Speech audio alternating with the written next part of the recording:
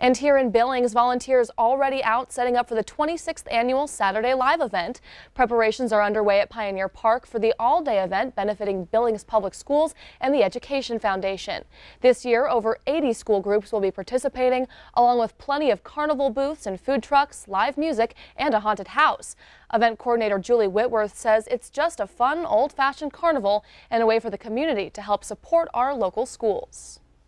It's also a fundraiser for all the schools, so every school group that comes to Saturday Live is raising money for something that they need at their school. It might be technology, library books, band uniforms, um, you name it. They're all raising it for something specific to their, to their needs. We're going to have a beautiful day. I think it's going to be the last beautiful weekend of, of fall, so everybody needs to come out.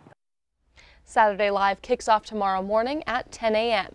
And of course, speaking of Saturday Live, Bob says you can leave your umbrellas in the trunk for tomorrow's event. Summer is making one last appearance before fall hits. Your full forecast is up next.